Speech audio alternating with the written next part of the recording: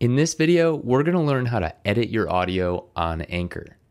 Anchor is one of the only online podcasting platforms that allows you to edit your podcast right from the website on your computer or the Anchor app on your smartphone device. There are limited features when it comes to editing your audio, but the simple tools that Anchor offers can be really useful, especially if you don't want to spend a ton of time learning more advanced editing platforms. In order to edit your audio, log into your Anchor account and click on the New Episode button in the upper right hand corner of the screen. Choose the audio segment that you want to edit from your media library and drag it into the grayed out editing workspace on the right hand side of your screen.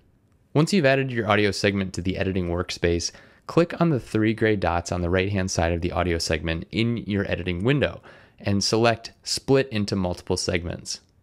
This will open up a window where you can see your entire audio file. You'll see a black bar that can either be dragged to select a spot on your audio, or you can click the gray play button in the bottom left hand corner to play and pause your audio segment.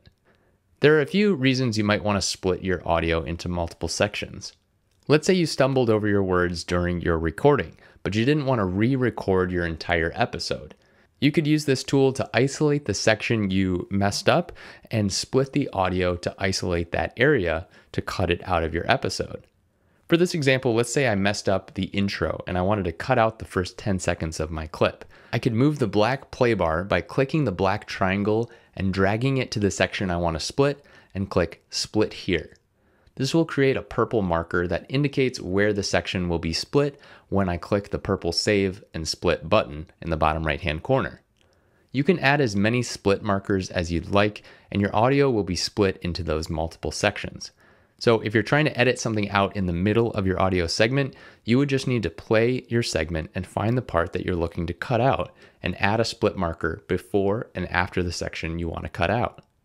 If you want to preview or remove your split markers before you save and split your episode, click on the purple bar at the top of the purple markers and either click Remove to delete your split marker or click Preview to listen to your episode starting from the marker. When you're happy with the cuts you've made on your episode, click the purple Save and Split button. Anchor will process your edits and re upload them to the editing window with a number indicating how many sections you cut your episode into. If we wanted to erase the intro of the episode, we would just delete the first section. If we wanted to edit out a mistake in the middle, we could delete section two. And if it was the ending that we were trying to cut or shorten, we could just delete section three. You'll notice that Anchor saved each of our new audio segments to the media library as well. And it also kept the original audio file for easy access in case we ever changed our mind and wanted to make different edits. And that's how to edit your episode using the Anchor platform. See you in the next video.